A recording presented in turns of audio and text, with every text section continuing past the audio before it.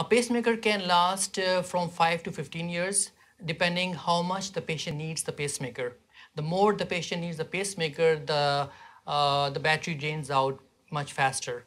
But on the average, they last about 7 to 8 years. The precautions uh, which uh, should be taken when uh, someone has a pacemaker is first of all to carry the pacemaker card with them all the time. Uh, if they are going through the security in the airport, they should let the airport security know that they have pacemaker.